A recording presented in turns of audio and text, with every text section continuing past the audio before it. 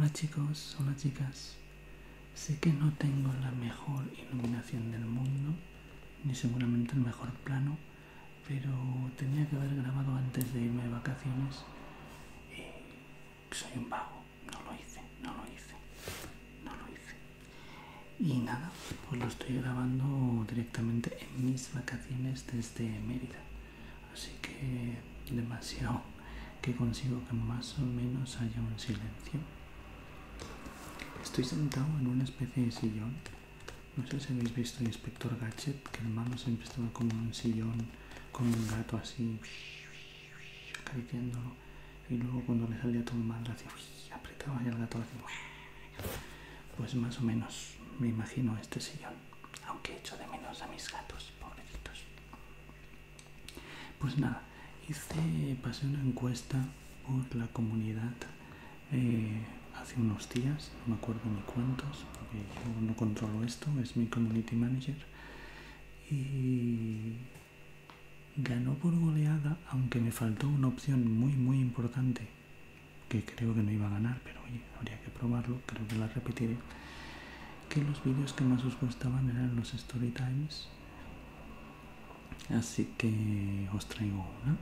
También os pasé que me han habilitado la opción de miembros, por si alguien se quiere apuntar, pues un vídeo extra al mes que podemos acordar la temática que queráis. Bueno, siempre que sea acorde al canal, no sé, si me pedís un desnudo integral por un euro, no. en fin, estoy no a punto de acabar el viaje, pero sí que lo huelo, ¿no? Al final ha sido muy cortito pero está valiendo mucho la pena. ¿eh? La verdad que os voy a hacer un story time, aunque no lo estoy diciendo, de, este viaje, guardándome unos trocitos que son puramente privados y no voy a desvelar. Pero sí que os puedo decir que lo primero que pasa cuando intentas venir a Extremadura es que cuesta un montón no sé si no quieren que los demás entremos en Extremadura o que no quieren que los extremeños salgan de aquí. Pero vaya combinaciones más trambólicas que les han puesto, o que les han puesto, por lo que me estáis viendo desde ahí. Mm, surrealista. Solo os digo que intenté mirar el avión, que evidentemente a Mérida no llega, porque, por Dios, aeropuerto en Castellón sí, pero en Mérida no llega a Badajoz, que es un aeropuerto militar además, y me salía igual de barato irme a Cancún, la verdad. No, no sé cuánto era, 300 euros la ida otros 300 la vuelta. Una cosa, una cosa así. se ve que aterrizas en una pista de oro allí en Badajoz brutal ¿eh? Sé que faltaba poco tiempo para que para que llegara la fecha y tal pero vamos que no yo no creo yo que la demanda se hubiera disparado para ir a Badajoz en avión. Y además una amiga que es de aquí su familia que viene mucho también me lo ha dicho que muchas veces lo que hace es pillar un avión a Sevilla y de Sevilla pues pillarse un tren o un autobús hasta aquí.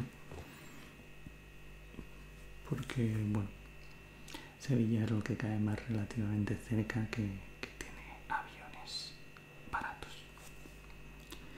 Así que me pillé una combinación de, trenes, tanto la ida como la vuelta. A la ida me tocaba ir en, en AVE, ¿vale? Pero solo hasta Madrid, porque más allá está en construcción. AVE, para los que no sean de España, igual no lo saben, es como un tren de alta velocidad. Como los trenes de alta velocidad de otros países, pero en plan timo, como todo en España. O sea, es lo suficientemente caro como para que casi no puedas usarlo frecuentemente, pero con eso te echan en cara que han hecho una gran inversión ferroviaria y así no tienen que arreglar los trenes que la gente sí que hace frecuentemente uso. Todo perfecto y además tardan 3 millones de años en instalarlo con evidentemente porque si dicen que va a estar en el 2012 Eso no esperes que antes del 2030 esté hecho y con siete cambios de planos. Pero bueno, es rápido, es rápido. La verdad que de aquí a Madrid, de Madrid a Barcelona, pues te haces pim pam, pim pam. Y ahí tenía que cambiar de tren, irme a... Tenía que cambiar de estación, que luego lo vi en el último día, pensaba que era la misma. Que bueno, está en el lado, es cruzar una calle y coger un media distancia hasta, hasta aquí. Era un media distancia que en realidad iba hasta Sevilla, pero como pillaba de camino esto, pues, pues te deja aquí. Eh, una hora y media, una hora y media entre un tren y otro. Es como un viaje internacional, porque tardas como 11 horas y tienes que hacer un transbordo de hora y media. Es un viaje internacional. Planead que, que Extremadura es otro país. Es un país guay, pero es otro país. Entonces tiene sus inconvenientes poder ir. La verdad que al final no se me hizo tan largo, ¿no? Porque entre que cambiaba, encontraba donde me tenía que, que hacer el cambio de, de tal. Eh, desayunaba porque a todo esto me levanté como a las 4 de la mañana porque tenía que pillar el ave a las 5.50 y algo. Entonces ni siquiera había transporte normal y prácticamente no podías encontrar un taxi porque allí estamos con toque de queda. Allí me refiero a gran parte de las poblaciones de, de Cataluña, sobre todo todas las que rodean a Barcelona. Parece que me estoy quedando, pero no, es que La verdad que no me quejo para nada, ¿eh? muy bien. Me quejo de los pobres extremeños con lo que tienen aquí, ¿sabes? Y tampoco se me hizo algo por eso, porque tuve que averiguar, tuve que cambiar de estación, tuve que eh, averiguar dónde era, dónde tenía que cambiar y montarme desayunar, almorzar, llamarle como queráis, cuando te levantas a las 4 de la mañana es casi como si comieras. Y busqué el lavabo de la estación de cercanías de Atocha. Creo que solo hay uno. No tuve mucho tiempo para investigar. Y son, creo que como los de Sans, es que no los he probado todavía en la estación de Barcelona aquí principal, donde está la AVE y tal. Pero son de pago o sea que es la meada más cara que he hecho en mi vida. Un euro. Un euro. Súper limpio, evidentemente. No, no corres peligro encontrarte un yonki que te saque cuatro navajas y siete jeringas como antes en las estaciones. Eh, no hay meados en los techos y gente que ha escrito su nombre con caca en la pared. Que era más o menos lo que te encontrabas antes, pero un euro. A cambio, pues escuchas el sonido de pajaritos mientras meas. Lo grabé, lo grabé, no mientras meaba, pero lo grabé para enviárselo a Alba. Evidentemente tenía que enviarle eso. Y al final, cuando quise saber cómo entrar en cercanías con un billete que no llevaba impreso, se lo fui a preguntar a la de cercanías, que sin mirarme era súper agradable. Me dijo, ironía hacían, ¿eh? Ese en el número 34, en el número 34, yo me presento allí. Y vi a una chica que estaba como yo, estaba ahí pasando el móvil por delante así. Y se le abrió una puerta y dice, yo no consigo que se me abra. Y le digo, pero si está abierto aquí, corre. Y se metió para adentro y ya, bueno, vi cómo hacerlo y me metí. Llegué aquí bastante hecho polvo porque son muchas horas y ya tengo una cierta edad. Y Claro, me eché a dormir prácticamente, no hice gran cosa más. Luego ya he visitado varias localidades de por aquí, yo sé que he pillado más buses, más trenes, muy guay todo. Y a mí me ha encantado, me ha fascinado Mérida. Es la, Roma de España en miniatura. Aquí llevas a los niños a jugar a la tierra al parque y les sale unas, una sauna, unas termas romanas. Y el perro escaraba para, enterrar la caca y le sale una domus de 200 metros cuadrados. Brutal, brutal. Em, He en el anfiteatro y en el teatro romano, eso sí que puede que lo conozcáis casi todos, aunque no seáis de España, es el más famoso de España, yo diría, yo juraría, pero es que tiene de todo, o sea, es, es muy brutal. Al lado hemos visitado, hecho una visita guiada, porque pues, había que aprovecharlo, y hay como una casa que han descubierto y que una de las poquísimas cosas que ha tenido el coronavirus es que, claro, primero no salía ni Dios a la calle y segundo no viajaba nadie, tercero los museos cerraban. Así que han aprovechado para hacer un montón de excavaciones y zonas nuevas dentro de los museos, etc. Y al lado del teatro y anfiteatro, pues había una casa que si hubiera venido hace dos años no estaba, que les ha dado tiempo de excavar, de hacer unas... Em, de poder poner unos cristales para poder pasar por encima como si estuvieras paseando por la casa, no por todas las zonas, pero por alguna. La verdad que la conservación que tienen del suelo es brutal y de las paredes sobre todo. En, en arqueología no es que yo sea muy experto, pero por todo lo que he visto, poco que he visto en la carrera de historia, es muy fácil, bueno, relativamente fácil conservar una ánfora, una estela funeraria, etc. Pero conservar algo de mármol ya es muy complicado, porque daos cuenta que si es algo de mármol del siglo III, ha habido 17 siglos para que otra gente coja esa pieza de mármol y la reutilice, cosa que aquí en Mérida te encuentras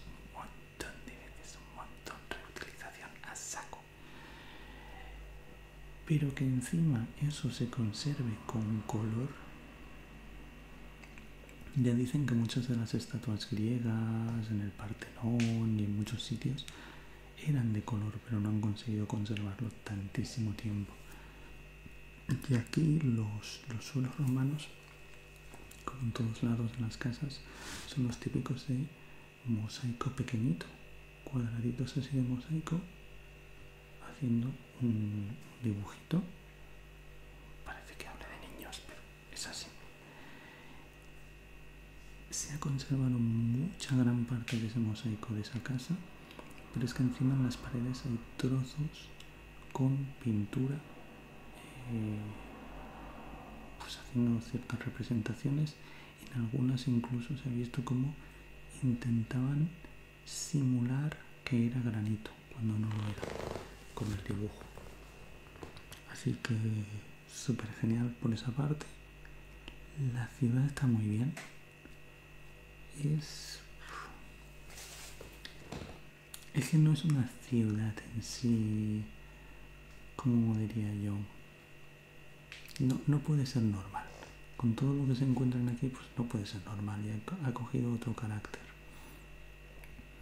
Me ha hecho mucha gracia porque ayer, pues, fui a pasear y dije, pues voy a pasear por la orilla del río, que hay como unas islas pequeñas que dividen el, río en un brazo pequeño, Aguadiana, y en un brazo enorme, ¿vale?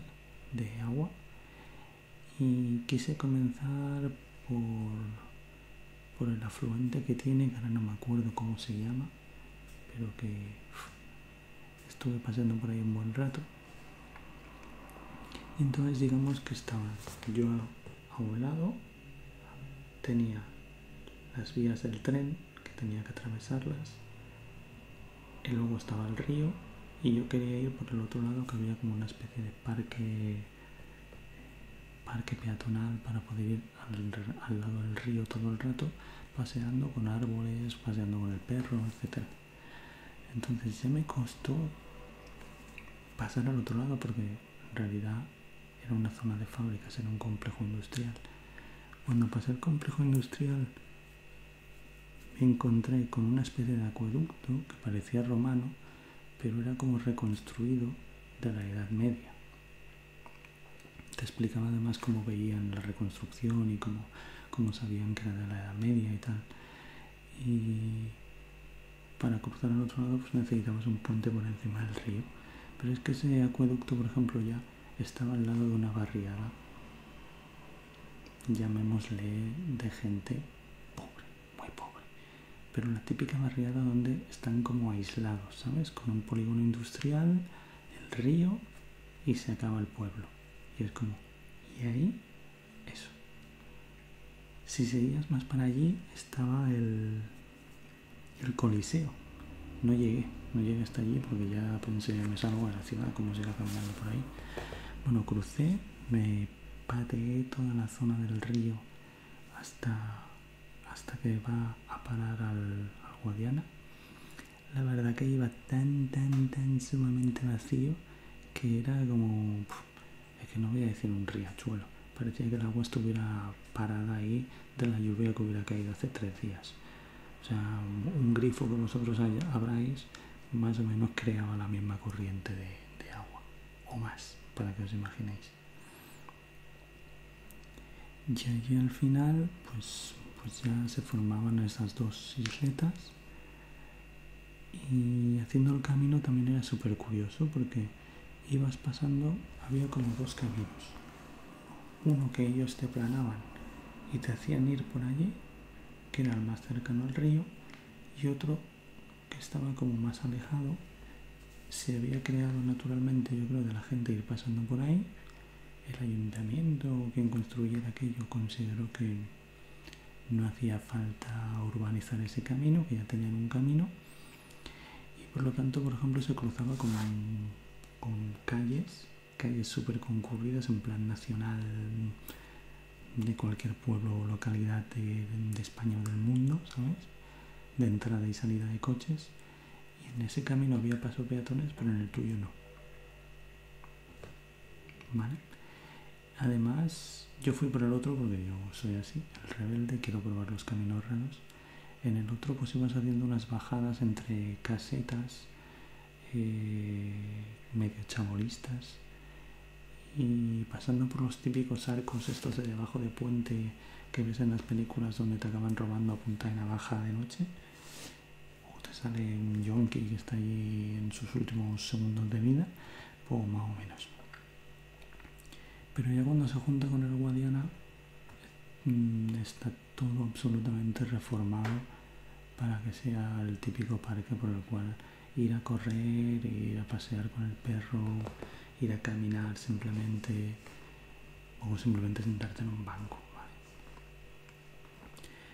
Un poco raro también porque pasa el tren por encima con un puente específico para ello y saltan chispas, ¿sabes? Hay toda la zona por la cual pasa el tren, toda quemada, toda negra por, por las chispas que van saltando del roce del metal. Y hay un montón, un montón de aves, un montón de patos, un montón de gansos, pero sobre todo patos, patos, patos, patos, patos, patos, patos, patos, y patos. No sé, pero por lo que me han dado a entender, Guadiana viene de Ana, que era como se llamaba el río en, tiempos romanos. Y Ana creo que significa pato en latín. Se lo, se lo pondrían por eso, no lo sé, pero unas peleas, porque claro, se habrán acostumbrado, como muchos otros sitios, a que alguien les dé de comer y cuando ven un conjunto de tres o cuatro personas, se, se acercan todos ahí.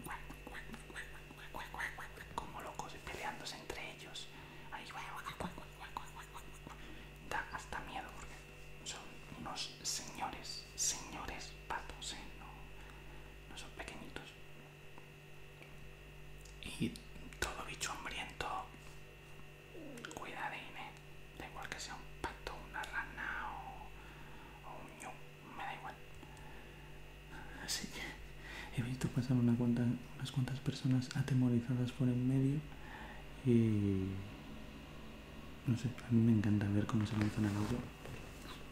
De repente se vuelven súper aerodinámicos y, y, flotan un rato con el impulso.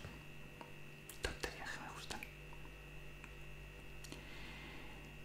Y bueno, dentro de la visita esa hemos visto un montón de cosas, pero para qué aburridos a mí como me gusta la historia, además me gusta saber de dónde han salido las ciudades que voy a visitar, pues bueno, ves la mezcla de la construcción romana, que fue súper importante, súper importante. Fue una capital de las tres provincias romanas que hubo aquí en la, en la península. Además se hizo en honor a uno de los Césares, Augusto creo que fue, que estuvo luchando con los Astures y tal. Entonces no era una ciudad cualquiera. Por ejemplo, nos han contado que en lugar de una plaza o un foro tenían dos, porque una ya se veía desbordada y, necesitaban una segunda, una para los locales, llamémosla así, y otras para los visitantes. Hemos estado en la Alcazaba árabe que usaron para hacer una fortificación la entrada del puente romano y la muralla y construyeron encima para hacer la fortificación de entrada y vigilar quién entraba y quién salía. Eh, bueno, un montón de cosas, la verdad. No lo podría resumir porque han sido horas y horas de visita. Y luego me he ido al Museo Nacional de Arte Romano, que, bueno, la verdad que tienen un montón de cosas extraídas de allí, desde monedas, cosas de vidrio, de metal, bustos, estelas pero tened en cuenta que es un museo que han hecho como súper moderno, pero que este museo en realidad yo creo que será top dentro de 20 años. Porque si lo veíais, eran muchas cosas que se han excavado los últimos 5, 10, 15 años. Y por lo tanto, en muchas vitrinas te ponía que esa pieza estaba en, pasando un proceso de restauración o te ponían un conjunto de monedas y te ponían un conjunto de monedas en estudio, porque claro, no es importante o es importante encontrarse en un yacimiento, pero es importante sobre todo relacionar eh, qué es ese yacimiento, qué significa ese yacimiento, con qué lo puedes relacionar, etcétera, etcétera. Y todo ese trabajo, como las excavaciones son tan, tan, tan recientes, no, no lo hay al lado de, donde estoy yo, de mi apartamento, hay un descampado enorme, cuatro o cinco manzanas de una cima normal, que lo único que tiene son unos botes para que los gatos coman y beban y unos gatos durmiendo ahí al sol, pero lo ves y es que seguramente intentaron construir algo y salieron un montón de ruinas. Pero claro, no hay dinero para hacer todas las excavaciones e investigaciones a la vez. Entonces lo dejan ahí sin tocar y a saber qué día, qué sale de ahí algún día, ¿sabes? Si algo repetido sin valor o algo totalmente único en la ciudad. Y en el museo pues pasa un poco eso. Y por lo demás pues me da un montón de vueltas por la ciudad porque quería caminar, quería verla. Tiene un sistema muy guay por el centro, sobre todo por las zonas de tiendas, como se nota que quieren que vayas por allí y compres que son como una especie de aspersores que habrá en otras ciudades seguro. Pero por ejemplo en Barcelona no se les ha ocurrido ponerlas todavía para crear como vapor, ¿no? Y que no notes tanto calor. Porque aquí se supone que debería estar haciendo un calor del infierno, del infierno. Pero no, no. He venido seguramente en una de las mejores semanas de verano de la historia de Extremadura. O sea, por las mañanas hace frío, pero frío de verdad, y yo soy caluroso. Y por las noches también. Solamente cuando te pega el sol ya a las 11 de la mañana hace calor, pero bueno, no es un calor como yo esperaba, yo esperaba muchísimo más. Y la semana que viene dicen que ya viene. me libro, me libro, me libro. Aparte de eso, pues he visitado otros pueblos. Eso me guardaré cuáles. ¿Qué más He conocido a David. Conoceréis por David Extremeño, que comenta mucho en el canal. Siempre comenta todos los vídeos. Siempre súper buena gente. Brutal. Un tío 10, ¿vale? Y nada, aún me queda por conocer, bueno, conocer, por ver a una amiga que tengo aquí, que siempre os cuento que conocí a distancia, que es curioso, ¿no? En este viaje voy a ver a dos personas que he conocido a distancia. Cuando yo a distancia nunca busco conocer a nadie. Pero la vida es así.